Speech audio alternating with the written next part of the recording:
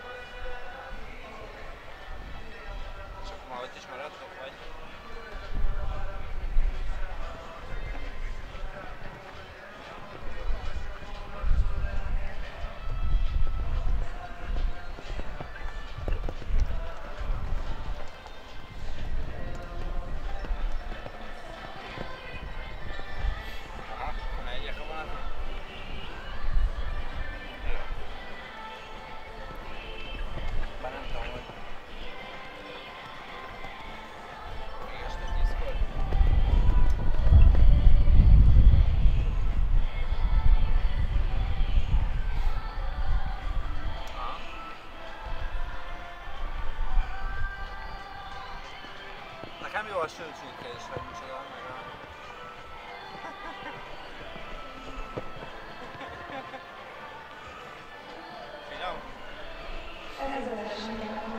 god.